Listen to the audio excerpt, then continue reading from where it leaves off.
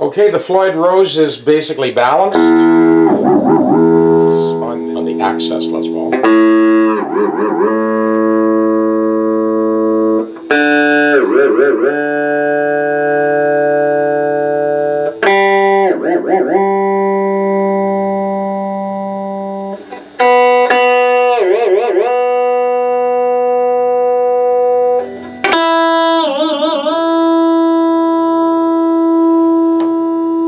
So we ended up doing a little bit of re-engineering here. This is how we stabilize that Floyd Rose. Now this is set up for dive only. If Jody decides that he wants to take this stop out, then it would be a floating tremolo where he could pull back or push down. This Corian actually goes right into that cavity and the the block rests up against the corian and this side of the corian actually touches the wood on that cavity. So it's not just a matter of the fastener holding the block spring assembly back.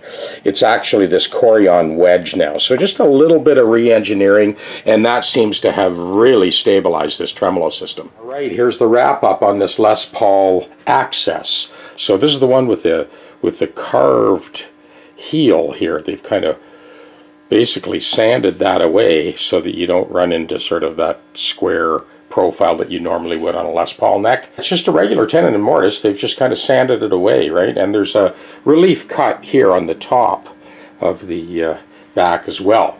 A couple more details and some issues that needed to be addressed to get this one to behave. I know that Jody had his heart set on getting the EVH D tuner installed for this low E string on this guitar, but it's never going to work, and I'll tell you why. Well, because of the neck set on this guitar and the proximity of this fastener to the top of the guitar, with this particular type of D tuner, you need to push that large chrome fixture in underneath the spring tab on the underside of that E string and then you basically tune it up to E, and then when you pull it out, it drops down to D. The problem is there isn't enough room to allow enough travel. So that's one reason why this is not going to work. The other reason, even if you did have enough room for that, here's the problem. As soon as you switch from E tuning to D tuning, when you tune up to E, the bridge will want to tip forward. When you pull that fastener out, the bridge will want to tip back. When you get a tremolo system that's as sensitive as this one, altering the string tension by even a pound just throws the other five strings out. So even if you got it working, you know, the E and the D, well, then the other five strings are either going to go sharp or flat in relation to the increase or decrease of string tension. Now, Jody does have an option to pull that whole thing off and just have a floating tremolo that allows you to go up and down.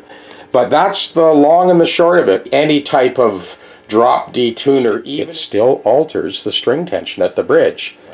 Anyway, right now, super stable. Bar works great. Action's great. It's been dressed and intonated.